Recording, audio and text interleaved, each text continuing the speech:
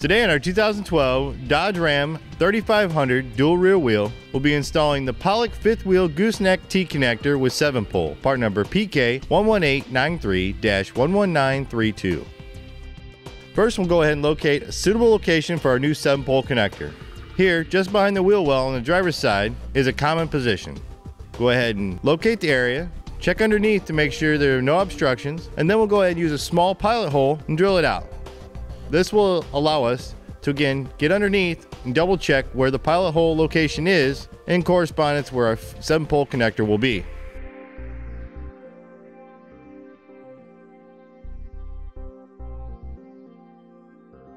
With that done, we can now go ahead and take the hole saw and cut out the larger hole to fit the 7 pole connector.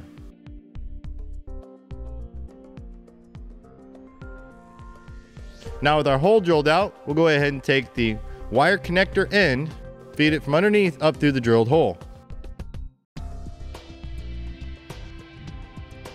Now we'll take the wire connector end, match up the numbers with the color code as per the instructions. Pin position number one is red, pin position number two is white, three is blue, four is green, five is black. Then I'll skip to number seven, which will be the center pin, yellow. It'll make it easier to install if you do it now. And then go back to number six, brown.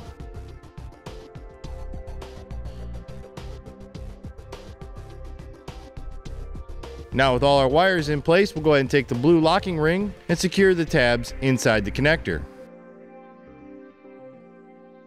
Now we can go ahead and take this connector and plug it into the back of our 7 pole.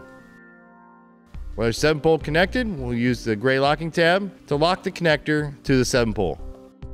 Next, we're ready to go ahead and mount our 7 pole connector. We'll use four self-tapping screws to secure it to the side of the bed.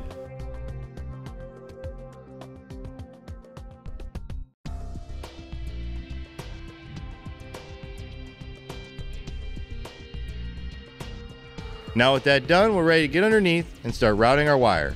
We'll be routing it over to the back of the bumper and making connection with the manufacturer's 7-pole connector.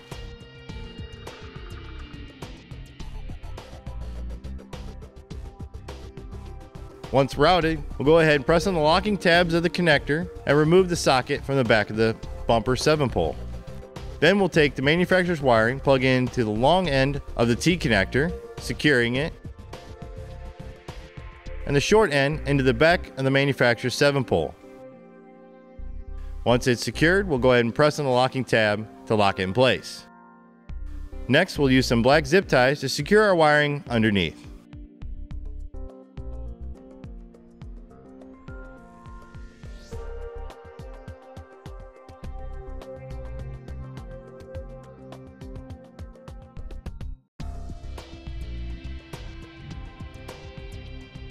Now with our wire secured, we'll go ahead and cut off the excess from our zip ties to clean up our install look, and that'll complete the install of the Pollak fifth wheel gooseneck T-connector with 7 pole, part number PK11893-11932 on our 2012 Dodge Ram pickup 3500 quad cab 8 foot bed dually.